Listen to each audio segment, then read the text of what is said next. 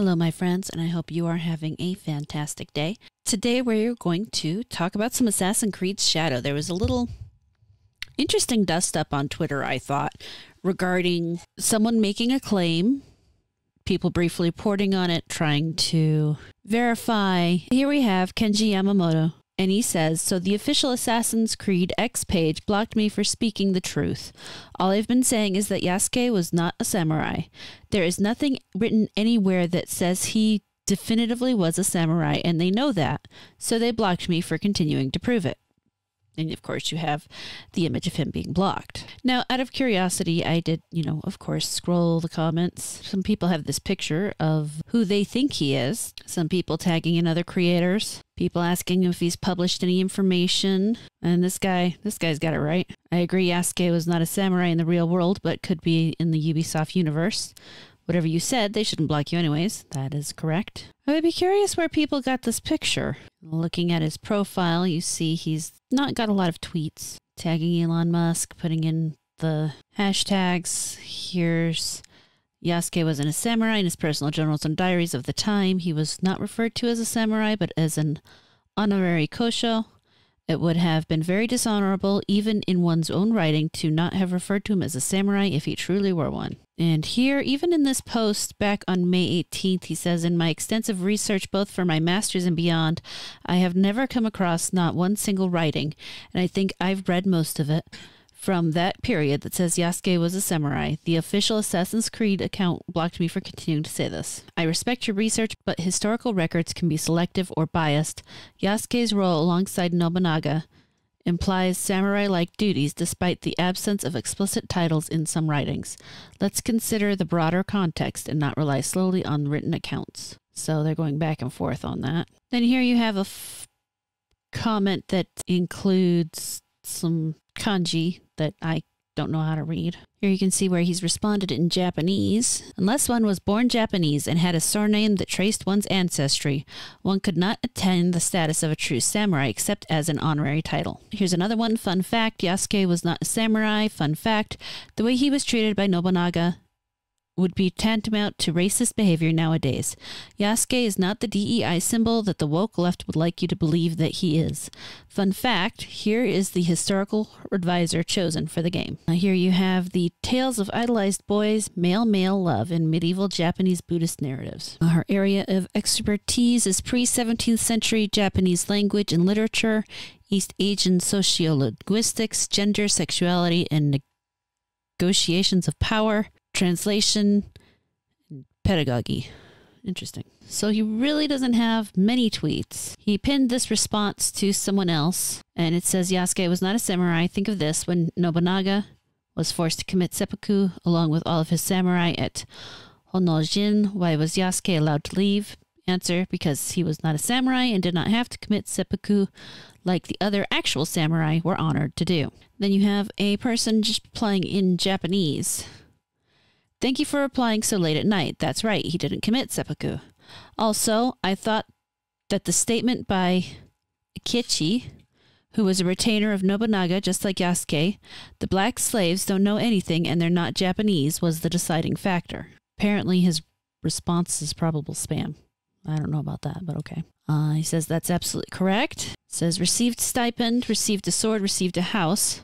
I believe that saying I received cannot be used as proof that one is a samurai, and I have explained this to him many times. The position of Yasuke is considered to be that of the Lord's horse attendant in the red circle. Interesting. That position is held by an elite unit made up of elite soldiers with a certain level of military power and intelligence capable of reading the battlefield, so I don't think Yasuke would be able to handle it. This was the position that Toshi held when he was young. Wow, thank you for pointing that out. Was Yasuke in the group a little further back? Understood. Oda Nobunaga's official aides, horsemen, and pages were people who demonstrated the dignity and face of the great ruler Oda Nobunaga, and also played a diplomatic role. So, wouldn't it be necessary for them to have mastered the etiquette, classics, and performing arts at the time to a certain level? If it had been during the time of Okehazama, it wouldn't it would have been possible, but it was just before the Honnoji incident. So I think it would have been more realistic for them to have been Nobunaga's personal servants rather than official retainers of the Oda clan. I see. If that's the case, then a lot of things make sense. Thank you. So that was an educational little exchange. Here you have that these kanji is a term for a payment for mid lower ranking warriors for them to hire, usually warriors for employment, given the term's usage, and that Yasuke was clearly by Nobunaga's side in permanent employment. It doesn't make sense for Yasuke to be anything but a warrior. And then Kenji responds, but he wasn't a samurai. Oh, and here's another guy. Goes way deeper than Wikipedia. I researched Yasuke back in 2013 when I was living in Japan. There was a coordinated change with the Smithsonian, Britannica, and Wiki, and tons of articles from sites like Time and CNN after the African Samurai book came out in 2019. Shows and movies were, click- were quickly announced around the same time as well. This was a media scheme being orchestrated. The book African Samurai is 95% embellished, and all the sites I mentioned cite it as a factual source, lol. Japanese people have even identified these sites mistranslating Japanese documents to make it seem more like Yasuke was an actual samurai. Basically, it's rich white business leaders taking advantage of the current political climate to make money off of legendary African samurai.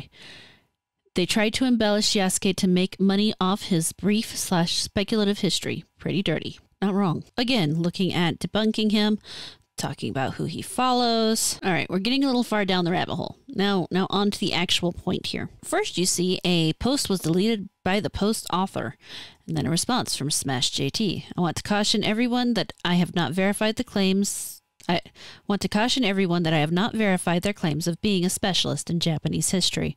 Now, what the original post was, was of course him retweeting Kenji and saying, you know, the basic stuff that uh, it's awful for them to block him and etc. Then Smash goes on to say, These don't strike me with much confidence that the person is who they claim to be. I wouldn't run with this story, but if you do, use extreme caution and then someone saying this seems like a huge LARP, and then a video which which they are talking about Ubisoft and this fellow who was blocked. And then here's Smash explaining why he deleted the post. He said, deleted the post, more details on Samurai Kanji, reportedly blocked by the official Assassin's Creed account, as it has been confirmed fake. Looks like he's LARPing as some dude from the Department of Medicine at Tokyo University. Nothing to do with Japanese history. Uh, here you have searched three sites. Yes, there's a staff member named Kenji Yamamoto at the University of Tokyo. He is a professor in the Department of Medicine at Tokyo University, actively involved in research in academia, and contributed to numerous peer reviewed scientific papers and international conferences. Additionally, there is another professional, Kenji Yamamoto, associated with the Ambient Mechatronics Lab at the stu- at the School Frontier of Sciences, University of Tokyo. My only issue with this particular statement is he never said he works at the university, only that he graduated from the university. And those records may not be something that you can easily search up. And here he says, I hold an MA Ed in Asian Studies, with which there is, I did a, a Google search, and there is, in fact, a Master's of Education in Asian Studies, with a focus on Japanese history and a special distinction in the Sengoku and Edo periods from the University of Tokyo. Now, there's a difference between holding a master's degree in something and working at a university. I'm not saying, I'm going to be clear here, I'm not saying that he's telling the truth. I am saying that the fact they don't have him listed on their site as working there doesn't mean he's not telling the truth. Now, I personally would like to see proof, but the fact of the matter is, people are at least checking him out. And this is the type of thinking that you have to use when you're on the internet. It's really easy to say things. Now, another issue that we do see is the fact that Assassin's Creed is very obviously blocking these people.